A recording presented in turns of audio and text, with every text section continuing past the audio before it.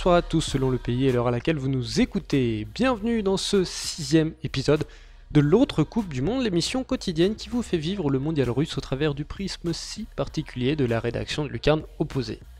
Au menu du jour, le débrief de Colombie-Japon et de la victoire des Lions de la Teranga avec Pierre Gerbeau, Baptiste Mourigal et Pierre-Marie Gosselin. Nous nous envolerons ensuite vers Rostov pour retrouver Jérôme à la veille d'Uruguay-Arabie Saoudite. Puis Nicolas Cougo nous comptera l'histoire d'El Negro Jefe, le capitaine des champions du monde 1950, et nous terminerons tranquillement par un point sur le Maroc avant son match couperé face au Portugal en compagnie de Farouk Abdou. Commençons donc par ce Colombie-Japon qui a partagé la rédaction de Lucarne opposée entre peine sud-américaine et asiatique extatique. Honneur aux perdants, ouvrons grand les bras pour consoler Pierre Gerbeau.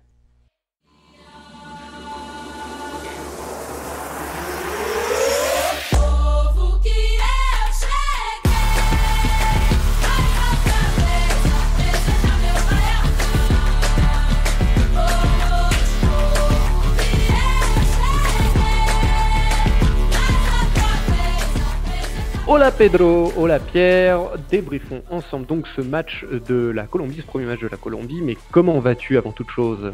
Voilà Simon, bah écoute, euh, je rejoins euh, toute l'équipe de Lucarne opposée de ça va moyen, voilà.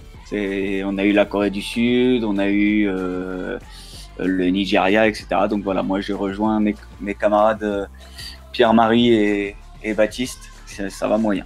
Et Romain pour le Pérou, un de plus donc. Gageons que bah on va faire on va faire la Colombie euh, après avec Baptiste. Donc euh, donc a priori ça ira un peu mieux à ce moment-là. Sera une première fois on sera un peu plus joyeux. Alors bah oui donc vous l'aurez compris hein, chers auditeurs euh, la Colombie a été défaite deux buts à 1 par le Japon.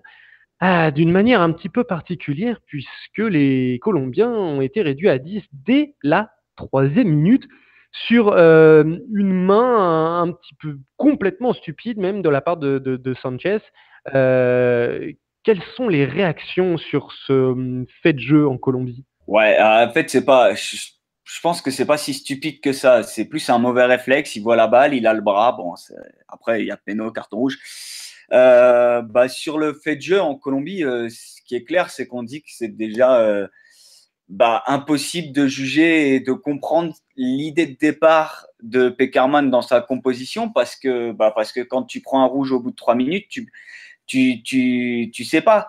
Tu peux pas dire quelle était l'idée de jeu et donc, euh, bah, c'est ce qui se dit. Euh, c'est impossible du coup de savoir et de comprendre ce que Peckerman a voulu faire avec ce 11 de départ puisque, puisque tu perds ton, bah, ton homme le plus important au milieu de terrain après trois minutes de jeu. Donc euh, voilà, après, euh, il n'y a pas de, pas, de contestation à avoir. Enfin, j'ai entendu personne euh, parmi les journalistes et anciens joueurs et dire que c'était illogique, que c'était un scandale, etc. Non, voilà. Donc, ce qui, ils ont plus débattu de ce qui s'est passé après et ce que ça a entraîné ce carton rouge et que, que du carton rouge en lui-même, en fait. On on n'en a pas débattu en Colombie. Très bien. Bah oui. Non, moi je disais stupide parce que euh, faire ce geste-là, même si je, oui, tout le monde est humain, c'est un mauvais réflexe, etc. Au bout de trois minutes de jeu dans un match où a priori tu pars euh, favori et qu'il y a le temps de renverser le match euh, si, si but il y a à ce moment-là, c'est un petit peu dommage. Mais euh, donc, donc oui, en effet, je suis totalement d'accord avec toi. Difficile de juger le, les, choix de Peckerman euh, vu que tout a été remis en question au bout de, de trois minutes de jeu. Est-ce que est-ce qu'on y a cru tout de même en Colombie? On, y a cru après l'égalisation de Quintero. En fait, sur l'égalisation, le, elle vient au moment où la Colombie est mieux mieux dans son match et notamment parce que parce que Barrios est rentré et que et que ça a équilibré euh, équilibré le milieu de terrain et ça a équilibré l'équipe en fait. Euh, donc la Colombie était en train de revenir petit à petit et donc elle, elle, marque sur un coup franc euh, un coup franc de filou de, de, de Juan Fer Quintero.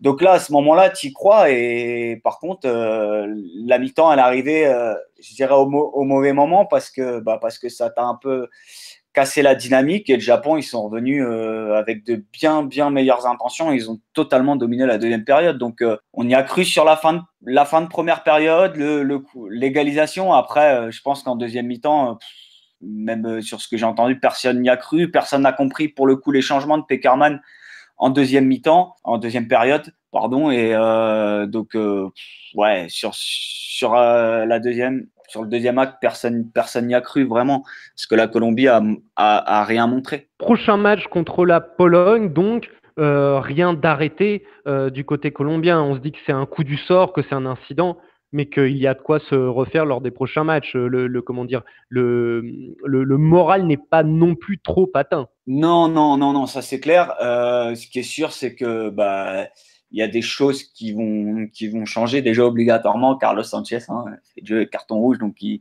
c'est sûr, il ne sera pas là. Euh, ouais, la différence de, par exemple, ce que disait Baptiste sur la, la Corée du Sud, où pour les, les, gens sur place, la Coupe du Monde était déjà terminée.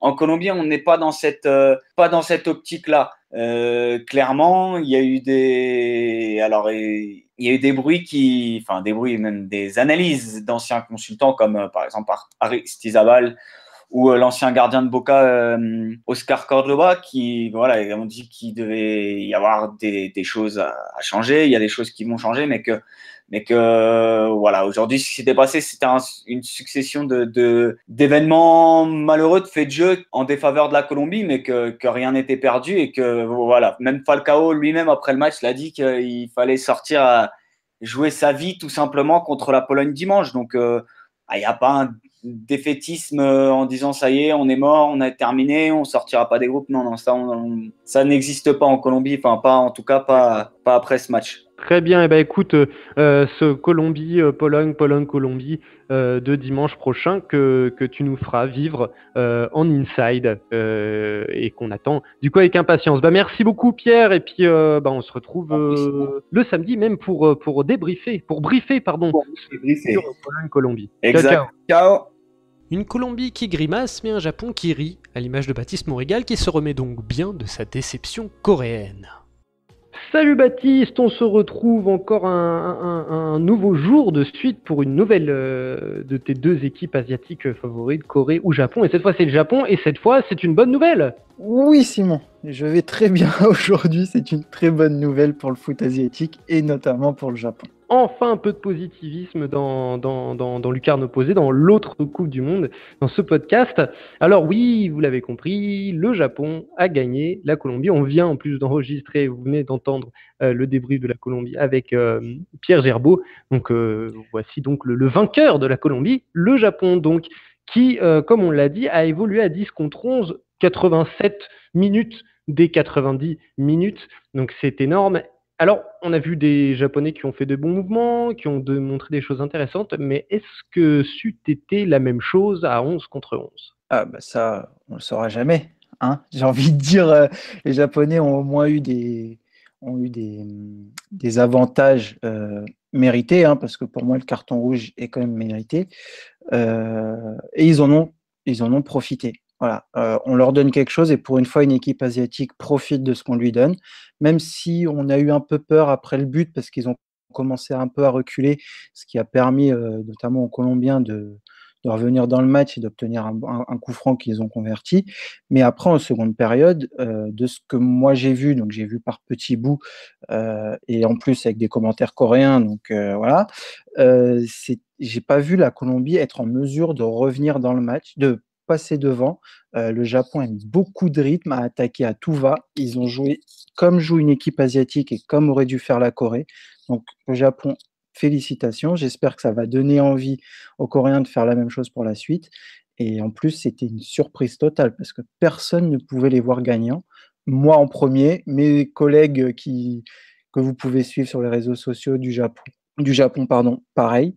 Donc euh, vraiment agréablement surpris et ça fait du bien. Quels sont les donc agréablement surpris du coup quels sont si on passe un petit peu plus à l'effectif euh, et au match en lui-même quelles sont les grosses satisfactions les grosses satisfactions pardon de, cette rencontre? Bah alors là déjà la défense euh, c'est satisfaisant parce que de ce que j'ai vu il n'y a pas eu des grosses erreurs euh, à, souligner. En plus pour une fois on, commençait avec Genshoji et non pas Makino j'ai oublié le prénom. euh, Tomoaki Makino, pardon.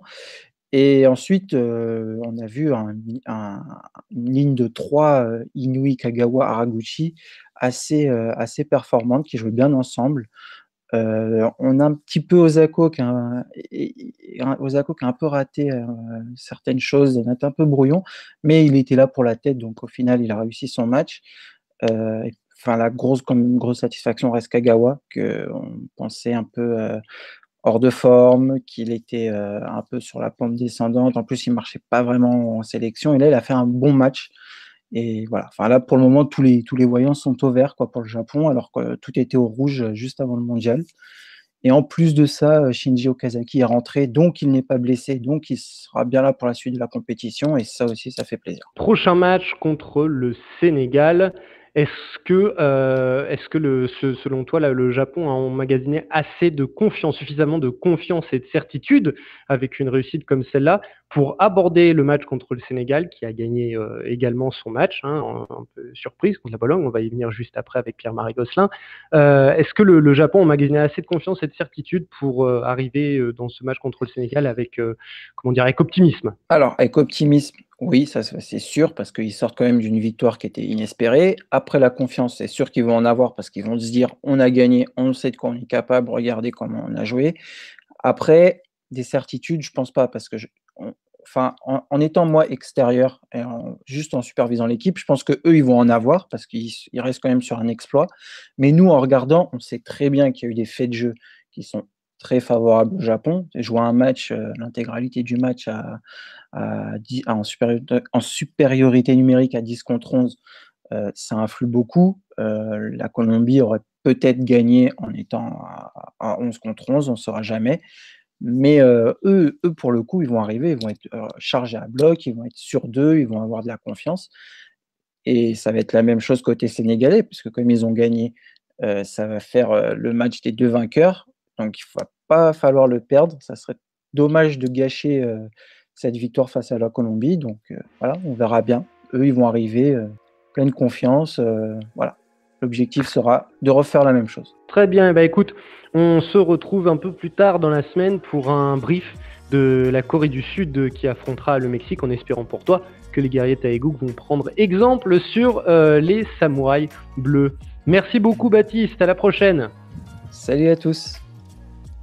Dans ce même groupe H, le dernier espoir africain, le Sénégal, affrontait la Pologne vêtue du costume d'outsider. Et enfin, Pierre-Marie et toute l'équipe du podcast Efrika ont pu célébrer une victoire. Bonjour PM Bonjour Simon, bonjour à tous. Heureux Ah ouais, ouais, heureux. Bon, c'était quand même laborieux, on va pas se mentir, mais bon voilà, c'est quand même euh, une qui, fait du bien à l'Afrique et, je pense qu'il va peut-être même libérer un petit peu tout le monde. Et oui, l'Afrique relève la tête avec cette victoire sénégalaise puisque l'Afrique, les représentants africains pour l'instant étaient en train de faire un zéro pointé et c'est justement ma, première question. Euh, qu'est-ce qui fait la différence de ce Sénégal, euh, si tant est qu'il y en ait vraiment une, par rapport à ses autres, à ses compagnons de, route pour ce mondial euh, continentaux bah, euh, On a pu le noter, hein, tu sais, un petit peu dans, dans l'approche du match. C'est vrai que euh, physiquement, tactiquement, on a senti quand même une équipe sénégalaise très en place et surtout prête pour, ben, pour une compétition comme la Coupe du Monde. comparé notamment à, la Tunisie, au Nigeria, à l'Égypte, où c'était vraiment un petit peu en deçà, où, où là, c'était plus le bloc qui faisait la solidité de l'équipe. Là, on sent que que voilà, le, les joueurs sont, sont rodés à, ce niveau de la compétition et, et c'est peut-être pas un hasard si le Sénégal fait partie avec le Maroc euh, des équipes qui ont le plus de joueurs qui sont nés euh, hors de leur pays euh, dans leur effectif. Bon, le Maroc, c'est 17 carrément. Donc, tu vois, il y a 17 qui sont nés en France, Hollande Espagne. Euh, sur 23, ça fait quand même beaucoup. Pour le Sénégal, c'est un petit peu moindre. Mais si tu prends le 11 type, euh, l'axe central Koulibaly, Sané, c'est né en France et formé en France. Sabali, né en France, formé en France. Même chose pour, la pour Alfred India, il y a un milieu défensif. Euh, Mbagnan qui a mis un but également. Donc, euh, tu vois, ça permet d'avoir des joueurs quand même qui sont, euh, ben, qui sont voilà, rodés à, ce genre de compétition, qui ont déjà fait des compétitions de haut niveau avec les jeunes.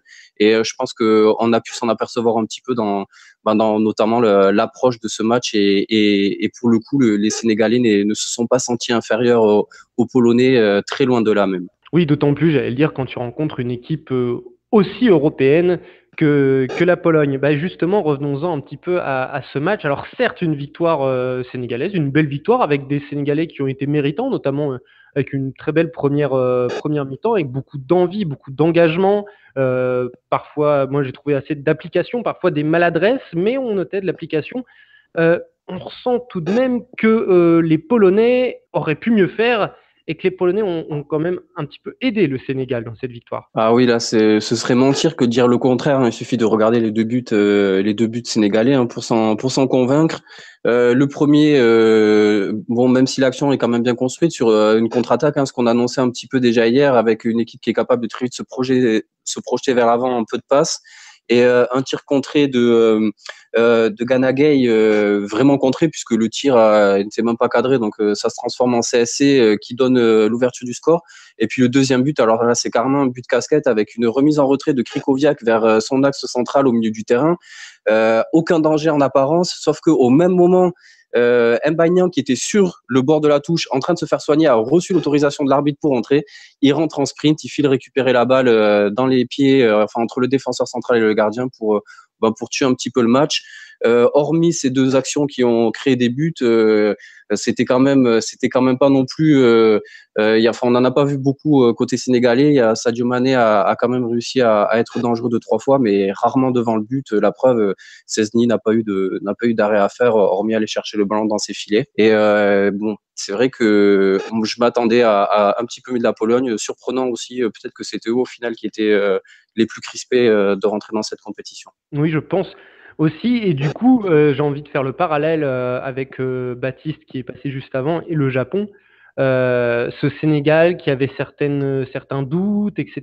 Quand on rentre comme ça dans une compétition en, gagnant un match, quelle que soit la manière, est-ce que tu penses que ça va leur permettre d'arriver pour leur prochain match contre, contre le Japon, justement, de la confiance et de la certitude, à l'image euh, des, Japonais en fin de compte.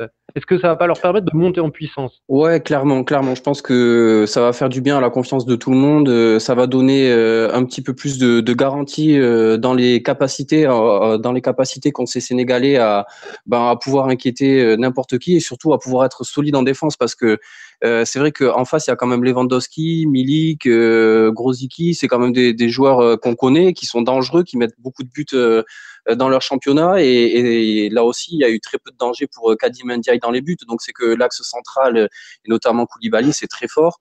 Euh, sincèrement, je pense qu'ils ont quand même de c'était le match à ne pas perdre c'était le match qu'il fallait absolument même voilà absolument gagner pour se mettre dans les bonnes conditions. Là c'est réuni je pense qu'ils vont arriver contre le Japon avec un statut de favori.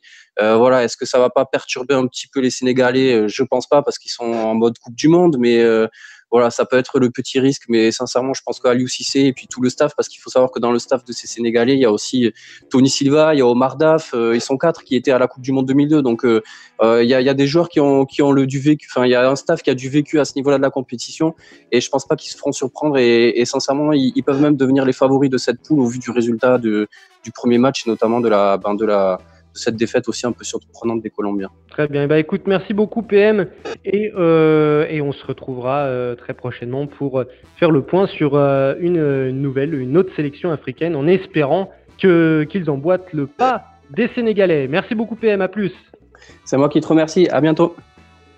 L'honneur est sauf donc pour le continent africain lors de ce premier tour.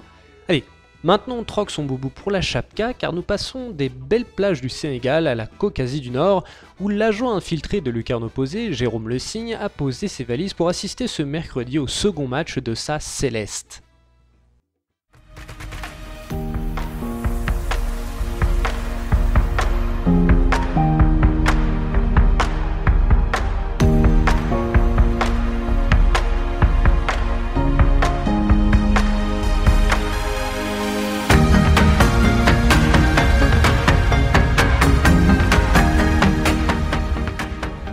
Retrouvons donc Jérôme qui a visiblement vécu le match des Russes avec euh, quelques locaux.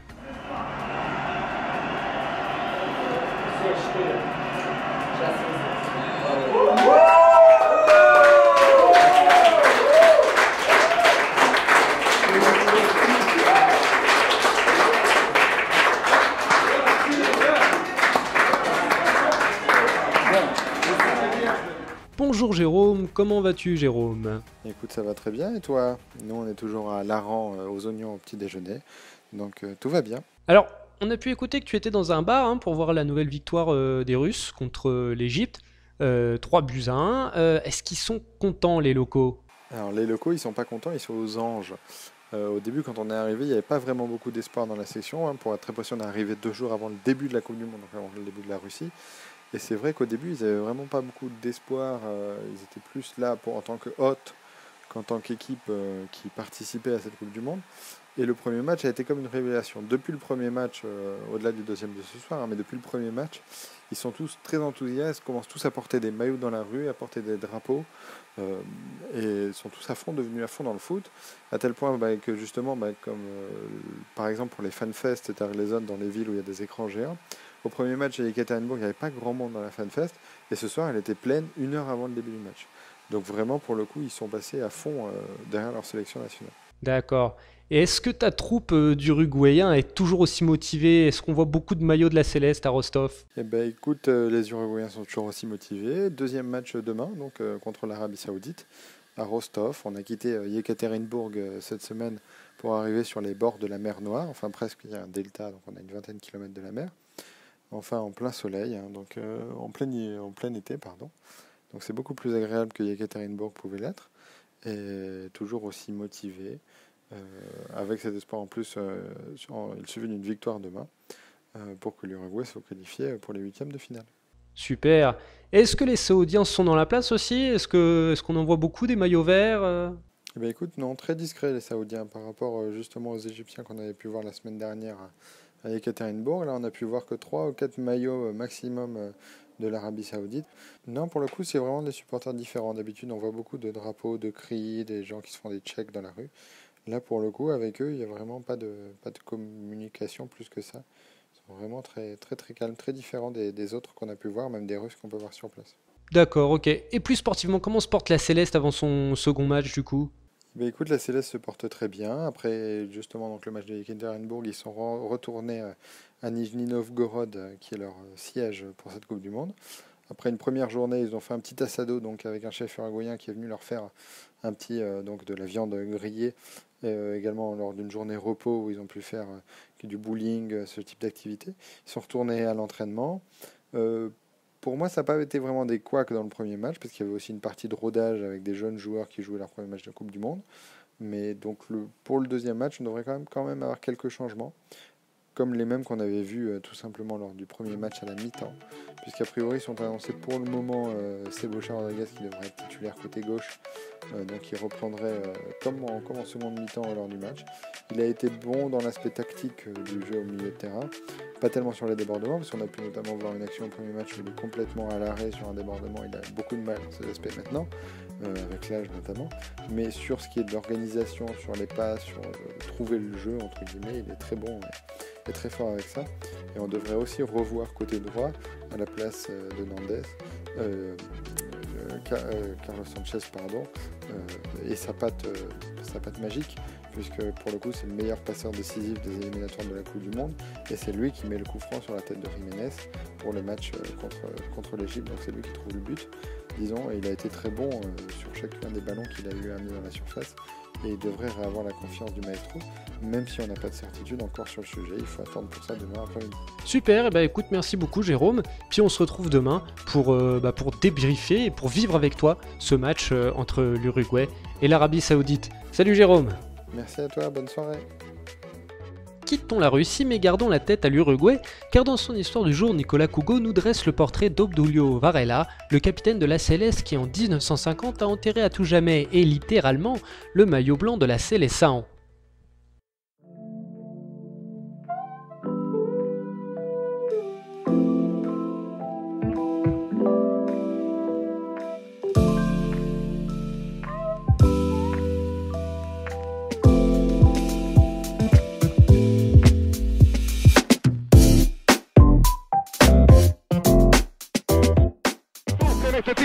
De Brancy Ramos el gol. Viene para Krasowski. ¡Gol! ¡Victorino! ¡Gol! ¡Gol!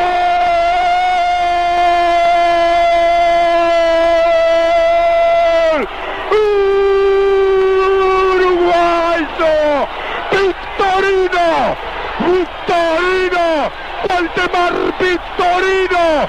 Otra vez en instancia brava. Apareció con su cabeza después que no alcanzó Krasowski el centro de Melancio Ramos. Y estalla de alegría el país. Quédate tranquilo, Duno. Los muchachos no te van a dejar cambiar la historia. Uruguay 2, Brasil 1. Quédate tranquilo, Tulio, te digo. Si vous êtes des amoureux du football en version originale, vous aurez probablement reconnu cette voix. Cette voix, c'est Victor Hugo Morales, celui qui va rentrer dans les mémoires collectives six ans plus tard lors d'une chevauchée magique d'un cerf-volant cosmique argentin. Mais avant de compter les exploits du dieu Diego, Victor Hugo Morales est avant tout uruguayen. Et le son que vous venez d'entendre, il date de 1980 et de Mundialito, une compétition qui s'est tenue en Uruguay entre décembre 1980 et janvier 1981 et qui avait été organisée pour célébrer le cinquantenaire de la naissance de la Coupe du Monde et qui donc opposait tous ses anciens vainqueurs. Ce jour-là, en finale, l'Uruguay s'offre le Brésil 2 à 1 sur ce but de Victor Huno. Une fois encore, comme le dit Victor Hugo Morales, car nous sommes 30 ans après le Maracanazo, cette victoire en finale de la Coupe du Monde de 1950, 30 ans après que le fameux Obdulio que notre cher commentateur invite à rester tranquille est allé éteindre tout un pays. Mais la question qu'on peut se poser donc est qui est cet Obdulio-là, ce fameux Obdulio Eh bien cet homme, c'est tout simplement Obdulio Varela. C'est lui, le capitaine de l'Uruguay de 1950, qui va donc retourner le Maracana par ses actions, par ses gestes forts. C'est lui aussi qui fait retomber l'euphorie lorsque Friessa ouvre le score en finale pour le Brésil et qui donne alors provisoirement le titre de champion du monde aux Brésiliens. Le temps de demander un hors-jeu à un arbitre qui ne comprend pas sa langue et qui va donc laisser entretenir un voile du doute pendant quelques instants le temps que tous ses coéquipiers puissent se ressaisir et digérer ce but encaissé. C'est lui aussi qui, avant le match, avait motivé ses troupes pour qu'elles soient prêtes à affronter les 200 000 Brésiliens qui n'attendaient qu'une chose, le couronnement de leurs joueurs. C'est lui, enfin, qui ira récupérer le trophée de champion des mains de Jules Rimet pendant que tout un pays pleure. Vous le comprenez déjà Obdulio Varela, c'est un symbole, celui de l'Uruguay, de ce petit pays capable de renverser les grands. Mais Obdulio Varela, c'est bien plus que cela. Obdulio Varela est né dans un milieu pauvre, élevé par sa mère, Juana, une blanchisseuse. Ses premiers ballons, il fait comme tout le monde, il les pousse sur les potreros, ces petits terrains, dans son quartier, comme tout bon gamin du Rio de la Plata, et il va rejoindre alors le Deportivo Juventud, avec qui il va faire ses premiers pas sur les vrais terrains de foot. Il signe son premier contrat de semi-professionnel à l'âge de 20 ans avec les Montevideo Wanderers, et va arriver à Peñarol en 1943, il ne quittera plus jamais ce club. Varela devient rapidement capitaine de l'institution à Negra, lui, le Cinco à la Rio Platense, ce chef d'orchestre reculé placé devant la défense à la fois pour la protéger, mais aussi pour créer. Sa différence, il l'a fait d'une part sur le terrain, mais surtout dans son comportement. Il est capable, par exemple, de demander à un arbitre d'exclure l'un de ses joueurs s'il se comporterait mal pendant un classico face au national, l'ennemi absolu. Il refuse aussi d'obtenir une prime supérieure à ses coéquipiers, suite à une victoire de son Peñarol face à la Máquina de River. Il est aussi le leader de la défense des droits des joueurs lors de la grève de 1949. Et si d'ailleurs vous souhaitez en savoir plus sur cette grève de 1949, je vous invite à vous procurer le numéro 3 de notre magazine spécial Coupe du Monde, il en est fortement question. Bref, vous le voyez, Obdulio est un homme bon, un leader par l'exemple, un jefe, El Negro Jefe, son surnom, acquis au fur et à mesure de sa carrière grâce à son comportement sur et en dehors des terrains. Sa légende s'inscrit donc à l'intérieur du rectangle, mais aussi à l'extérieur, et elle dicte surtout le comportement d'un Uruguayen qui se veut céleste. Invaincu en Coupe du Monde, il est blessé lors de la défaite de 1954. Sa légende va alors perdurer. Elle va être transmise de génération en génération. Pour preuve, Oscar Washington Tabares, l'actuel sélectionneur de la sélection, depuis qu'il s'est installé à la tête, impose la lecture obligatoire d'un livre au sujet du Negro Refe. C'est ce livre que le capitaine de la sélection Diego Lugano aura comme livre de chevet pendant la Copa América 2011. Varela est sa source d'inspiration, son modèle à suivre. L'Uruguay remporte alors la Copa América, sans doute porté par l'esprit du Negro Refe. Un esprit qui sera bien évidemment encore bien présent chez les héritiers de 2018 car c'est aussi cela l'Uruguay. C'est un pays qui n'oublie jamais ses racines et qui ne renie jamais son histoire. Quelle est imposante tout de même l'histoire de cette céleste. Si aujourd'hui les descendants d'El Negro Jefe joueront leur qualification face aux Saoudiens, dans le groupe B, le Maroc tentera pour sa part de ne pas rejoindre l'Égypte parmi les premiers éliminés du tournoi. Farouk Abdou nous rejoint pour en savoir plus.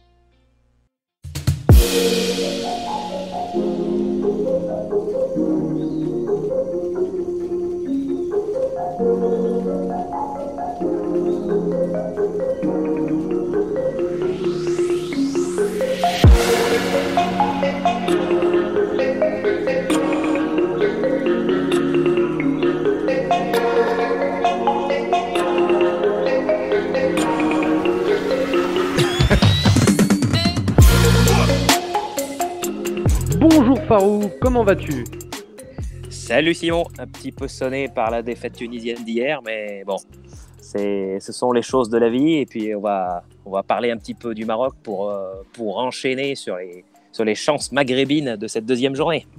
Et oui, le Maroc, euh, comme tu le dis, on va passer à, un autre euh, pays ma- maghrébin, le Maroc, euh, qui, euh, qui lui aussi a été sonné en début de Coupe du Monde après une défaite terrible contre l'Iran dans les dernières secondes, but contre son camp, et qui affrontera ce coup-là le Portugal. Donc voilà, ils attaquent le, gros de leur groupe, enfin l'un des deux gros de leur groupe. Mais d'abord, avec ce coup sur la tête, ce but à la dernière minute contre son camp, contre l'Iran, est-ce que les Lions de l'Atlas sont bien remis? Ça a été, ça a été très dur, ça a été très dur. Le, le contre son camp de Bois-12, les larmes de Bois-12 après, bon, qui a été beaucoup de soutien, que ce soit sur les réseaux sociaux ou ses coéquipiers, euh, pour un peu lui faire comprendre que c'était pas de sa faute, euh, vu que la défaite du Maroc est un ensemble d'aspects qui ne concernent pas uniquement le but, qui a eu beaucoup d'aspects défavorables, le fait de ne pas avoir pu euh, enchaîner après la bonne entame, l'énervement euh, face au coup des Iraniens quand ils ont cherché à, pe- à- à perdre du temps. Un petit peu de naïveté aussi sur le fait de ne pas savoir comment euh, composer face à une équipe bien regroupée. Le, but contre son camp de Bois 12 était juste, euh, était juste un, événement, mais bien que ce soit compliqué, maintenant les Marocains sont complètement tournés vers le, second match contre le Portugal. Et comment la presse, comment les Marocains ont vécu cette terrible défaite? Alors, il y a eu, euh, il y a eu une petite polémique le lendemain du match à cause d'une euh, séquence qui est passée en mondiovision et qui, du coup, euh, un petit peu stigmatisait le staff médical après la chute et ce qui semblait être une commotion cérébrale de Nordin Amrabat en fin de match.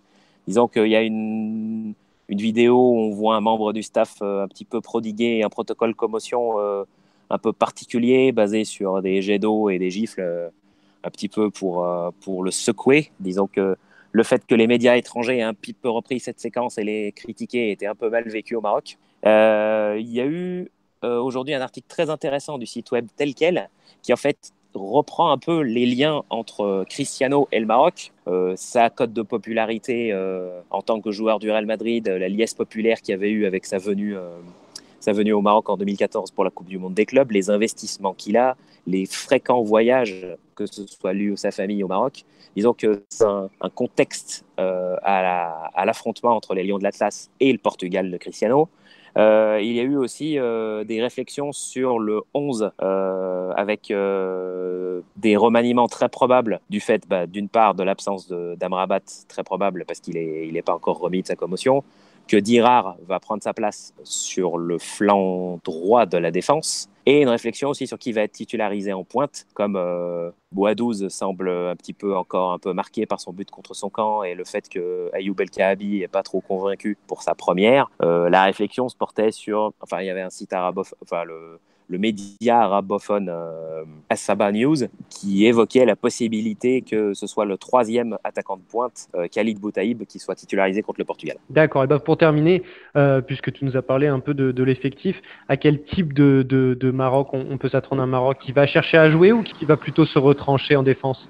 Euh, la, la conférence de presse de, du- de l'ailier remplaçant Faisal Fajr donnait un petit peu le ton, euh, donnait aussi lieu à une belle détermination de la part euh, des Marocains qui n'ont pas renoncé, qui certes ont, ont décrit le fait que le, un merde pour euh, défendre les chances essayer de jouer crânement les chances jusqu'au bout, euh, même s'il reste les deux matchs les plus difficiles, euh, ils sont déterminés à essayer de faire un résultat. D'accord, très bien. Eh ben, merci beaucoup Farouk. Et puis on se retrouve très vite pour commenter euh, les matchs de nos nations africaines d'Efrika. Ça fait longtemps qu'on n'en a pas parlé d'Efrika euh, dans, euh, dans cette Coupe du Monde. Merci beaucoup Farouk. Merci Simon, à très bientôt. Une mission de tous les dangers pour les Marocains, mais une autre de tous les espoirs pour son bourreau iranien qui rencontrera l'autre mastodonte du groupe, l'Espagne. Encore la tête dans les étoiles, la Team Ellie est déjà extrêmement fière de sa victoire de la semaine passée, car le sentiment général est que, comme le rappelle Mirfara Ali Khan pour PersianFootball.com, je cite, Pour des équipes comme l'Iran, jouer une Coupe du Monde est une expérience rare. Gagner un match est encore plus rare, et ce n'était donc pas juste une victoire pour l'Iran, mais une victoire pour l'Asie. Si Carlos Queiroz partage cette fierté, l'ancien adjoint de Ferga United a ramené tout le monde à la réalité en rappelant le nom du prochain adversaire, la Roja, que je ne vous présenterai pas. Selon PersionFootball.com, toujours, le technicien lusitanien pourrait procéder à quelques changements. Blessé à l'entraînement, Chechmi devrait laisser sa place en charnière centrale à Hosseini ou Montazeri. H-Safi laisserait le couloir défensif gauche à Mohammadi pour reprendre une place dans un milieu de terrain qui pourrait être renforcé par Ezatolahi, poussant Shojae, le capitaine emblématique, sur le banc. Devant, l'incertitude règne toujours sur l'aile gauche entre les pépins physiques de Taremi, le titulaire habituel, et la bonne paire de son prétendant Zarifar contre le Maroc, ainsi que celle d'Amiri, qui peut être une alternative plus défensive à ce poste. Un vrai casse-tête perse. L'Iran qui voit toujours les problématiques géopolitiques se mêler à sa compétition puisqu'après Nike et l'embargo américain, voilà que des bannières No Ban for Women et Support Iranian Women in Stadiums ont été aperçues en tribune lors de leur première rencontre dans le but de sensibiliser l'interdiction dont les Iraniennes souffrent depuis 1979 de se rendre dans les stades de football. Interrogé sur le sujet en conférence de presse, le capitaine Shojae a botté en touche, arguant qu'évoquer ce sujet pendant le mondial était déplacé et qu'il était préférable de régler ce genre de problème en famille, en dehors du mondial. Rappelons que Massoud Shojae, qui aurait pourtant soutenu le lever de cette interdiction par le passé, est en sursis aux yeux de sa fédération. Il avait failli être écarté de la sélection et raté le mondial pour avoir joué une rencontre d'Europa League contre un club israélien avec l'AEK Athènes dont il porte les couleurs. Terminons enfin sur un petit récap des résultats et classements de la veille. Double surprise dans le groupe H, le Japon l'emporte sur la Colombie 2 buts à 1 et le Sénégal se défait de la Pologne sur le même score. Blues Samurais et Lyon de la Teranga occupent donc la première place avec 3 points, devant Colombiens et Polonais 0 points. Dans le groupe A, la Russie met un pied en huitième grâce à sa belle victoire 3 buts à 1 sur les pharaons égyptiens qui sont pour leur part quasiment momifiés. Verdict demain, après la rencontre Uruguay-Arabie Saoudite. Merci à tous de nous avoir suivis pour ce sixième épisode de l'autre Coupe du Monde. N'oubliez pas de venir nous solliciter sur les réseaux sociaux.